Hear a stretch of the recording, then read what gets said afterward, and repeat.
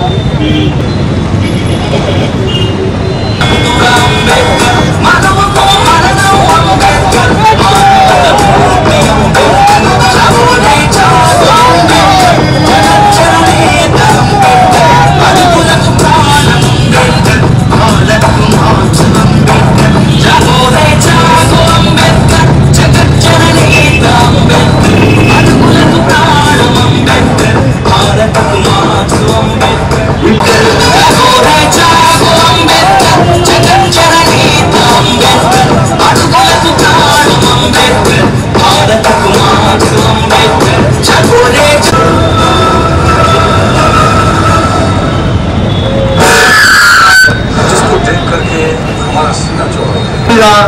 ఆశీస్సులు కావాలని కోరుచున్నాము.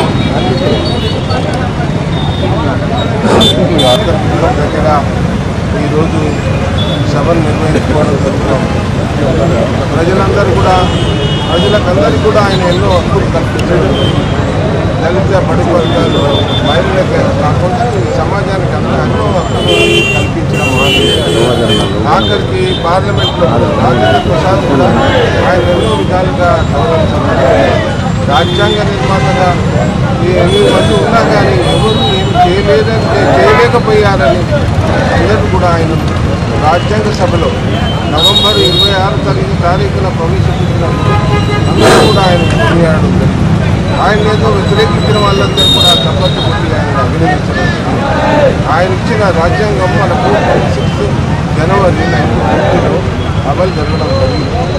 కాబట్టి ఇంకా ఆయన కోరుకున్న సమాజం పేద వర్గాలకు న్యాయం చేయడానికి సంచిత మనకు రాజ్యాంగ చట్టం ప్రకారం అమలు జరుగుతున్నా కానీ వాస్తవంగా ఇంకా అమలు జరగడం లేదు. దీనికి ప్రజాప్రతినిధులు కాకుండా ప్రజలు అదేవిధంగా యంత్రాంగాలు ఉన్న యంత్రాంగాలు అందరూ కూడా కట్టుబడి పనిచేయవలసిన నైన్టీన్ ఎయిటీ నైన్ చేతి యాక్ట్ తీసుకురావడం. ఆ రాజ్యాంగంలో ఉన్న హక్కులన్నీ ఉన్నా కానీ మళ్ళీ ప్రత్యేకంగా హక్కులను కల్పించడం జరిగింది.